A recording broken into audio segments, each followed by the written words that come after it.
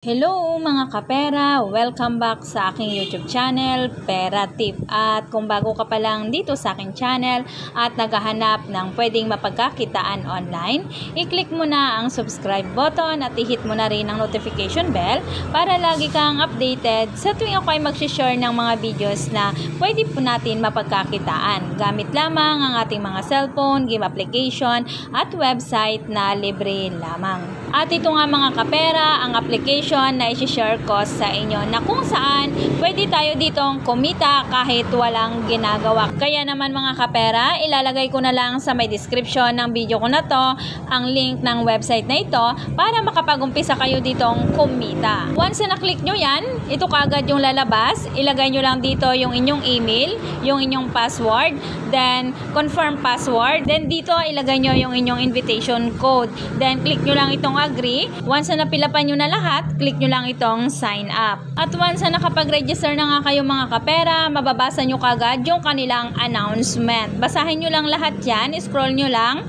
Once na natapos nyo nang basahin, click nyo lang itong next. Dito nga mga kapera, makikita kagad natin na mayroon na tayo ditong remaining times na pang spin. Kaya naman, click lang natin dito. At ito nga mga kapera, once na na-spin natin, makikita natin dito na mayroon na tayo ditong winning na 1 USD DT. Okay, then click lang natin itong X. Then dito nga mga kapera, pagka-register pa lang natin, makaka-receive kagad tayo dito ng libreng 10 USD DT. Dito makikita naman natin yung recharge, withdraw up at ito kanilang company profile. Then dito naman sa ibaba, makikita natin yung kanilang task hold. Dito mga kapera, para tayo dito makapag-umpisang kumita kahit walang ginagawa, kailangan natin ditong maglabas ng puhunan. Kaya naman mga kapera, kung rate seeker ka, handa kang mag-invest, pwede sa iyo itong website na sinishare ko sa inyo. And dito sa baba, makikita naman natin itong home, task, team, VIP at itong me. Okay, dito kay uh, me punta tayo. Makikita kaagad natin dito yung ating total balance na 10 USDT. Ito ay na-receive natin pagka-register pa lang natin mga kapera. Paano naman tayo dito kikita? Kung halimbawa mga kapera na ikaw ay magre-recharge dito, punta ka lang dito kay VIP. At dito nga makikita mo na mayroon sila dito ang VIP 1, VIP 2 hanggang sa kay VIP 7. Pwede ka dito ang mag-invest ng halagang 10 USDT.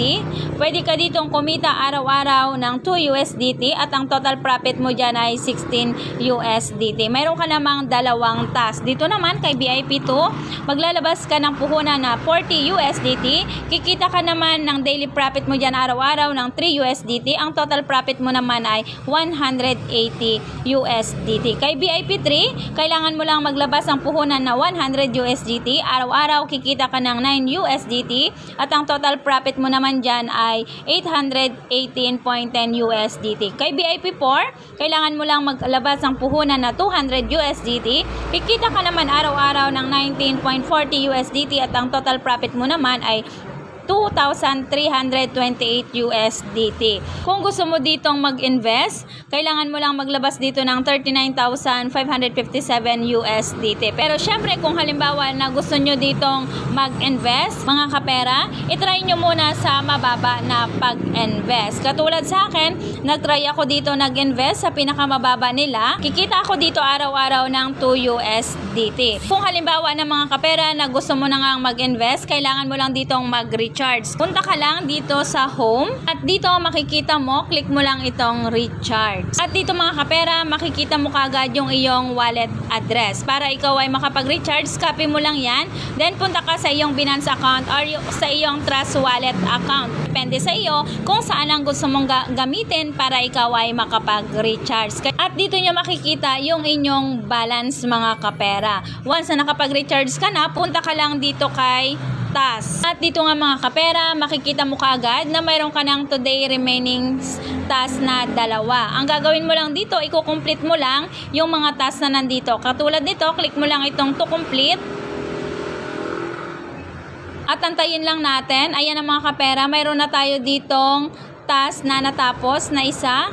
Then click lang uli natin itong to complete uli. Then wait lang natin, naglo-loading pa siya. At tapos na nga yung ating task dito. Kaya tignan naman natin dito kung completed na. Click lang natin yan. At ito na nga mga kapera, completed na yung ating dalawang task dyan. Ibig sabihin mga kapera, naglabas tayo dito ng puhunan at ang gagawin lang natin dito ay magtatas lang everyday. At kikita kagad yung ating in-invest or nilabas na puhunan dito sa website na ito. Kung halimbawa naman mga kapera, na gusto mo na dyan mag-withdraw, okay, punta ka lang dito sa Me. Then dito makikita mo nga na mayroon ka ng balance dito na 13 USDT. Halimbawa na gusto mo nang mag-withdraw, click mo lang itong withdraw. Dito pwede ka nang mag-withdraw ng 2 USDT. Pero depende sa inyo kung saan yung gusto mo ditong withdrawin. Kung halimbawa na USDT, click mo lang dito. Kung TRX naman, click mo naman dito. Then dito mga kapera, ilagay mo lang yung iyong withdrawin na 2 USDT. Then dito naman, ilagay mo yung iyong Tron address or USDT wallet address. Then dito, ilagay mo yung iyong password. Then click confirm. Once na nandito ka na nga sa iyong Binance, click mo lang itong wallet. Then, click mo lang dito itong funding. Then, dito mga kapera, click mo lang itong, then, click mo lang dito itong USDT. Then, click mo dito itong Tron TRC20. At dito nga, makikita mo kagad yung iyong Binance wallet address. Then, copy mo lang.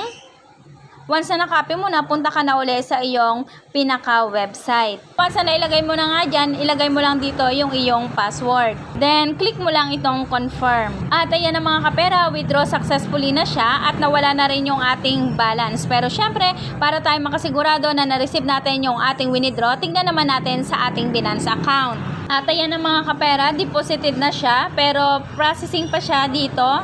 Hindi pa nako-confirm. Wait lang natin na ma-confirm refresh lang natin. At ayan na nga mga kapera, na-receive na natin yung ating winidraw na 2 USDT. Balik naman tayo sa ating pinaka-website. At dahil nakapag-withdraw na nga tayo dito ng 2 USDT, ibig sabihin mga kapera, itong bagong website na sinishare ko sa inyo ay nagpapa-payout siya. Pero again, mga kapera, invest what you can afford to lose. Nasa sa inyo pa rin po yung desisyon kung gusto nyo po dito mag-invest. Ang sa akin lang, nagsishare lang po ako ng mga website na pwede po tayo ditong kumita kahit wala tayong ginagawa. Yun nga lang, kailangan natin ditong maglabas ng puhunan or kailangan nating mag-invest. Kaya naman mga kapera, pera, kung naghahanap ka pa ng pwedeng mapagkakitaan, i-click mo lang ang subscribe button at i-hit mo na rin ang notification bell para lagi kang updated sa tuwing ako ay mag-share ng mga videos na pwede natin mapagkakitaan. See you in my next video mga kapera.